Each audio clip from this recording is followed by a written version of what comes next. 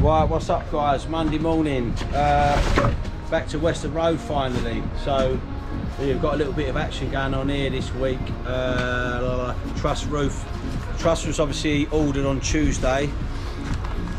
Didn't turn up with a crane, as you know, so I had to put one in. Obviously Monday morning, we've got a full team in ready to rock and roll. So just had to we haven't got a lot of space out the front so just had to sort of make sure get all the neighbours out let them know that we're blocking the road off.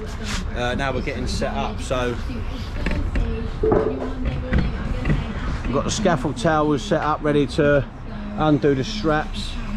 Uh, we've got our plan set up. We've got the main man Nick the chippy. As motoring costs continue to Um, rocket, we're here to that's it, I suppose. Easier on your pocket. Our branded tyres up to let's get cracking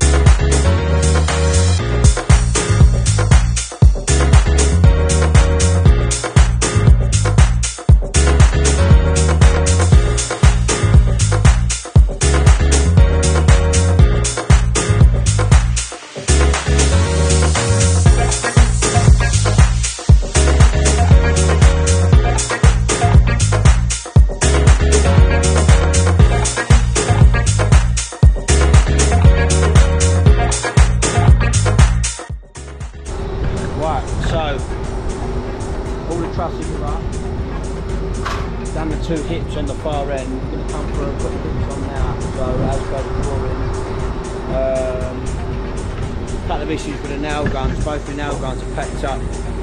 I gave one a little service last night, and the O-ring has snapped on it. It was getting loose, and it weren't holding the gas in, and it's just snapped off today. So I've ordered one. Hopefully it'll be here tomorrow. I Might have to hire one. uh, just for a couple of days until it turns up. It's either that or pay a silly amount to get here tomorrow. So 25 quid a week to hire one, just get one for the week, you know what I mean? Saves tools down and all.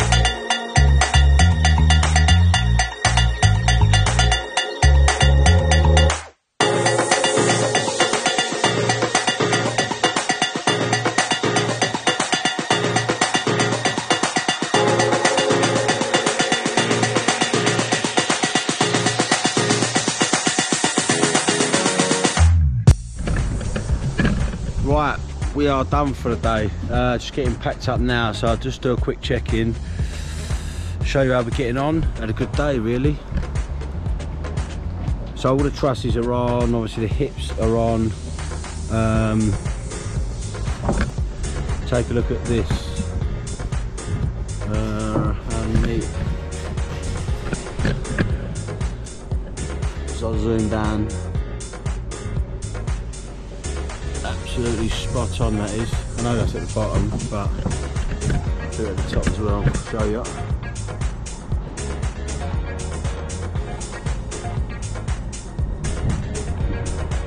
Absolutely spot on that is. So yeah, really pleased with that. You never know sometimes with the old trusses, bit hit and miss sometimes, but um, touch wood, it's gone on relatively well. So catch you guys in the morning.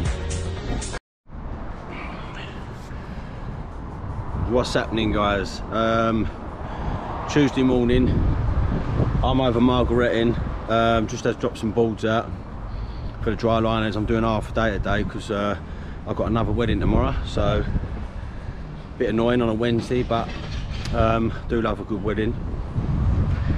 Anyway, I'm up on this dormer. Obviously on Friday we rubbered it up, didn't we? Um, we're going to be throwing this ridge back through. So I've just reinstated a couple of tiles that come out from the neighbour's side. The things you have to watch out for, we need to put a batten through here, like a kick batten, to kick the bottom of the tile out, otherwise it's going to dip in, but you can't nail it through because you're going to perforate the membrane. So, what I like to use is that OB1, CT1, any premium adhesive and that will just stick that to the membrane. And then you got a nice kick batten it's raised off the roof so you're not going to get any water underneath it's going to be rotting it. And uh, going to get no sag from the tile so I'm going to glue that one on and then work my way through tiling it and then I'll knock a gauge of muck up and get the ridges whacked on. If I've got time I'll go through the backs of these and I'll retile them in as well just another little job ticked off the list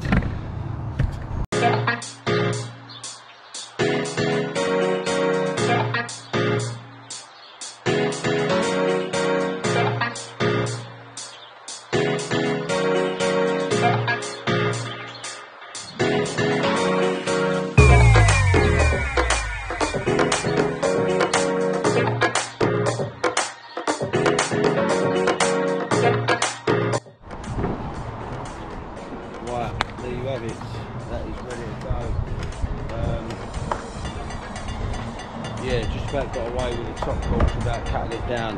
It's a little bit squeezed on the gauge there, but end, so good to go. I'm going to uh, go down, knock the gauge up, and then um, get the ridges whacked on. Bosh.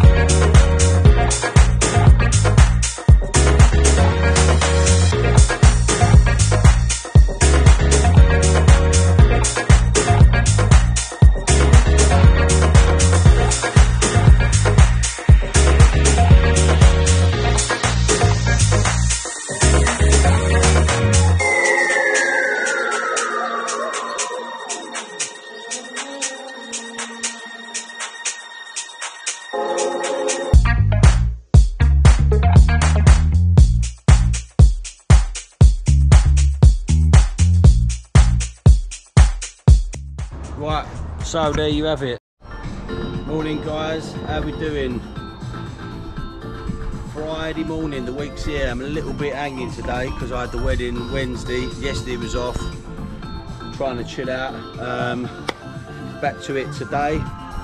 We're over Western Road, me and Chris.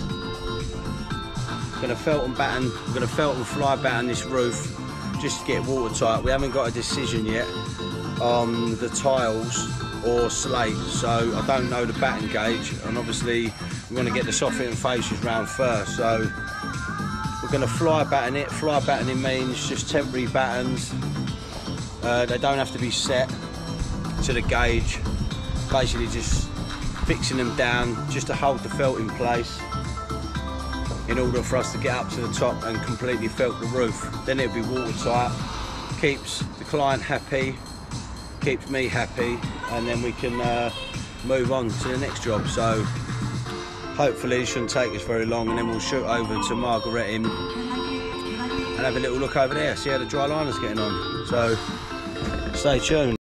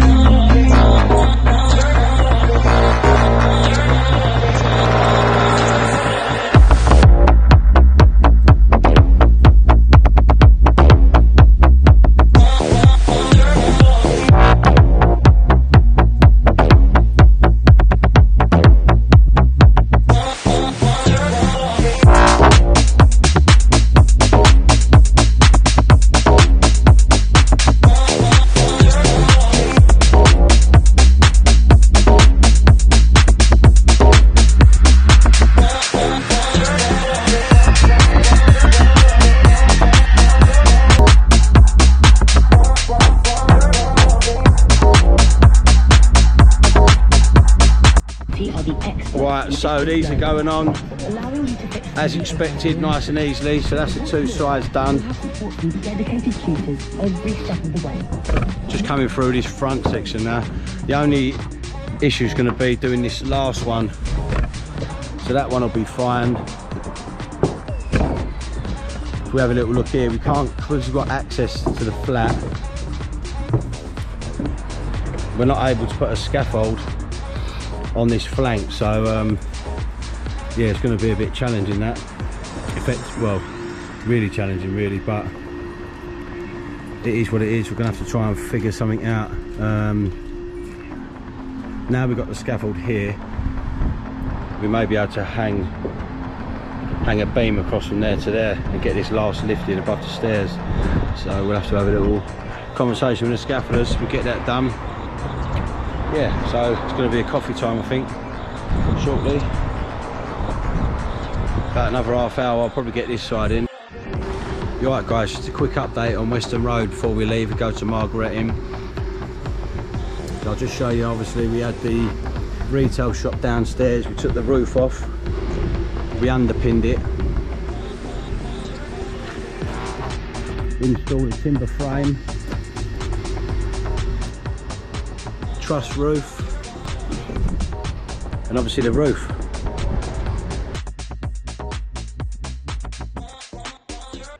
Right, what's up guys? Just over Margaretting I thought I'd just show you how the tackers are getting on.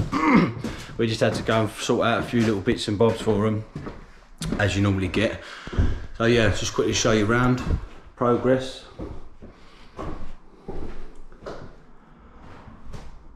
All vaulted, all looking good. All stuck on.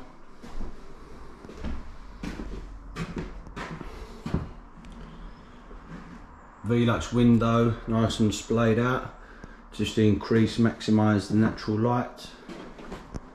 This is going to be the plant room for the vented cylinder and all your bits and bobs like that. This is the spare room. Now it's all in, it's actually just about a generous size there. Lovely that.